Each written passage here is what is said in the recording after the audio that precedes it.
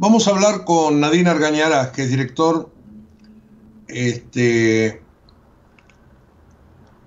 les decía, eh, director del IARAF, y que es un experto en temas previsionales y nos puede dar algunas, algunos datos, sobre todo le quiero preguntar por los bonos, etcétera, etcétera, etcétera.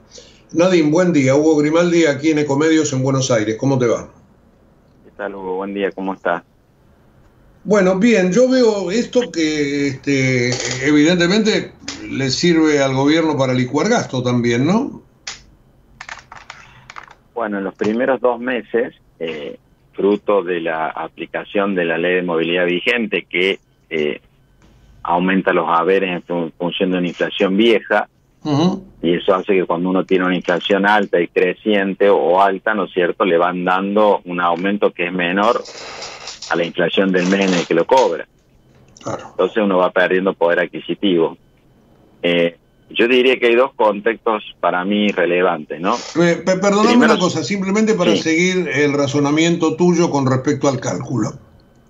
Cuando la inflación está en alza, eh, vos perdés porque este, siempre te dan menos que lo que fue la última inflación. Y es a la inversa cuando la inflación baja. Es decir, que el gobierno en todo caso este, aprovecha hacer el cambio ahora para no beneficiar luego. si el gobierno hace un cambio ahora, ¿no es cierto? Eh, congelando de alguna manera el haber en términos reales, en algún momento, supongamos el haber de marzo, eh, de esa manera, ¿no es cierto?, no va a tener un incremento del haber posterior cuando la inflación, en la medida que siga descendiendo, te genere, ¿no es cierto?, un aumento real del haber. Claro. Eh, bueno, te interrumpí, vos tenías algo por decir. Sí, lo primero es el contexto, para mí eh, es relevante, ¿no? Porque no estamos hablando de una situación puntual de este año, sino que estamos hablando de una pérdida permanente del poder adquisitivo de los jubilados en los últimos seis años. Yo vengo siguiendo el tema eh, con ciertos análisis por ahí eh, creativos para mostrar el impacto y bueno, yo con ese análisis calculo cuántas jubilaciones o haberes han perdido los jubilados en los últimos seis años y es una caída sustancial. Por ejemplo, un jubilado con la mínima que cobró bonos eh, perdió en seis años 9,4 haberes. 9,4 haberes de 72 que cobró. O sea, mucho. Y un jubilado que no cobra bonos perdió 13,7 haberes. ¿Sí? O sea que perdió un poco más de un año de haberes en seis años. Eh, o sea, se llega a esta situación de hoy con ese contexto. Para mí no es indiferente el contexto previo. ¿Qué pasa? Arranca el 24 con la inflación que ya todos conocemos y en el primer trimestre del 24 eh, incluyendo la suba de este mes de marzo, que es del orden del 27%, tanto en el haber como en el bono para el que lo cobra. Eh, con eso, un jubilado con la mínima va a terminar, digamos, eh, perdiendo en el trimestre un 28% de poder adquisitivo respecto al primer trimestre del año pasado. Y un jubilado que no cobra bonos va a terminar este trimestre perdiendo un 42% de poder adquisitivo. O sea, a una caída muy grande que se viene dando en seis años, se le suma una caída muy, muy grande en el primer trimestre del año. Entonces, para mí es importante esto porque es de la manera en que llegan los jubilados a esta discusión eh, de una nueva regla de movilidad. Eh, Nadine, y Evidentemente el gobierno lo quiere arreglar, pero eh, este agujero es imposible de tapar. Claro, ¿qué pasa, digamos, si, según eh, mis, mis análisis, si el gobierno otorgase en abril un aumento, un 10% de que yo le llamo de plus de compensación, ¿no es cierto? Un 10% de compensación por el primer trimestre, y a eso le sumara, ¿no es cierto?, eh, la inflación de febrero, que va a ser la que se va a conocer en, en abril, del 13,2%, eh, estamos en el orden del 25,4% si uno lo hace de manera acumulada el cálculo, ¿sí? Para redondear un 25. Eh, y ese, ese aumento se da sobre el bono y sobre el haber, eh, aún con ese aumento y teniendo en cuenta una inflación decreciente en el resto del año, el jubilado con la mínima terminaría 2024 perdiendo un 10% de poder adquisitivo. Perdón, 10%, 10 más. No, no, perdería contra el 23. Ah, está bien. claro, perdería, o sea, sería su séptimo año de pérdida de poder adquisitivo. Exacto, le sumás 10%. Le sumamos un 10% a lo que ya viene perdiendo. Y un jubilado que no cobra bonos perdería el 24% de poder adquisitivo. Entonces, es significativo el impacto eh, sobre el poder adquisitivo de los jubilados durante este 2024. Yo hice un, una simulación para encontrar cuál es el aumento, que el, ese, el plus ese que habría que dar en abril para que el jubilado con la mínima quede en el 24 igual que en el 23, o sea que no pierda en el 24. Y en ese caso el plus me da 25, o sea que tendría que dar un 25 más un 13,2% de inflación de febrero, eso da un 41,5%. con ese incremento, el jubilado con la mínima, eh, obviamente, suponiendo que ese incremento va también sobre el bono, terminaría eh, igual. Pero en ese caso, el jubilado que no cobra bonos terminaría inclusive perdiendo un 16% de poder adquisitivo. O sea, esto que lo primero que esto marca es que la pérdida es muy significativa. Por ende, si uno quiere evitar la pérdida o compensarla, el esfuerzo que tiene que hacer es muy grande del lado del, Estado. Digamos, si el Estado diese un, un plus del 10%, que entiendo que es lo que lo que estaría, digamos, en el proyecto de Así es, sí, sí. enviado, eh, según mis cálculos, el gobierno podría disminuir el, el ratio del gasto de jubilaciones respecto al Producto Interno Bruto en medio punto del producto. ¿Sí? Medio punto del producto. Eh, ese medio punto del producto sería el 10% del todo el esfuerzo fiscal que hay que hacer para eliminar el déficit. Eh, Nadine, cuando vos decís que los jubilados de la mínima eh, le haces el cálculo incluyendo el bono, ¿el bono qué tomas? ¿Un solo mes? ¿Más de un mes? ¿Todo el año? No, no, no.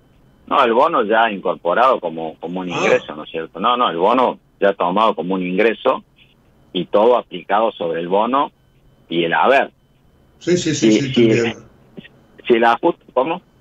Te entiendo, te entiendo, sí. Si el ajuste no se hace, si el ajuste no se hace sobre el bono, obviamente la pérdida es mucho mayor a la que mencioné. Claro, claro. Si el 10% se hace solamente sobre el haber y no sobre el bono, eh, el jubilado con la mínima que cobra bono no va a perder el 10% en el año, sino que va a perder más del 10%. Sí, entendido.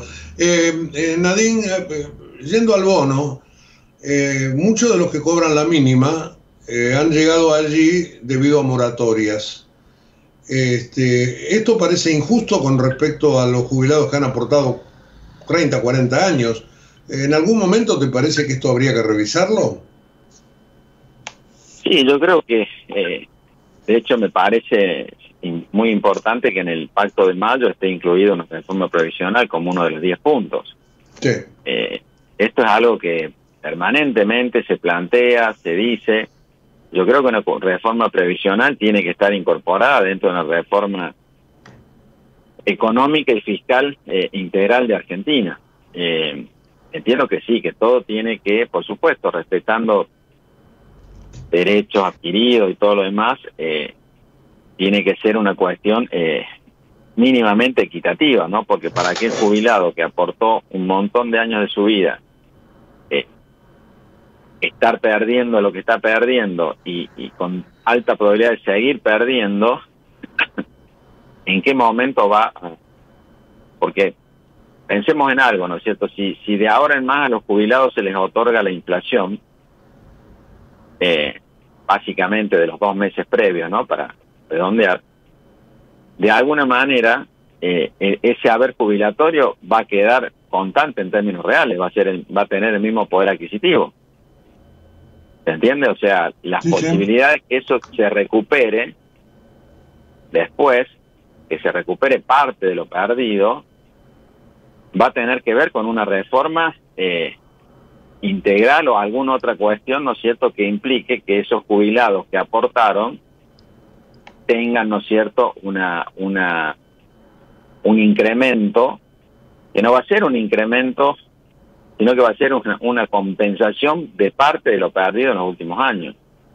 Eh, es muy complejo el tema, eh, la realidad es muy significativa, digamos, la realidad negativa que hoy atraviesan los jubilados eh, digamos, yo di estos números, los números son muy, son fríos, pero detrás de esto hay una realidad, ¿no es cierto?, de cada persona. Eh, y son muy grandes las pérdidas de poder adquisitivo. Sí, por eso digo, este, haber, haber perdido en seis años eh, entre 9,4 haberes y 13,7 los que ganan más es verdaderamente un golpe para el bolsillo porque evidentemente el poder adquisitivo se ha caído. ¿Y cómo? Eh, Nadine, eh, de todo esto que vos estás contando, ¿los este, legisladores tienen referencias o te parece que en general este, los legisladores dicen, bueno, es un sector que, que está de paso, digamos? no, quiero usar palabras que después generen problemas, pero vos sabés que al jubilado se lo destrata porque obviamente se va a morir pronto.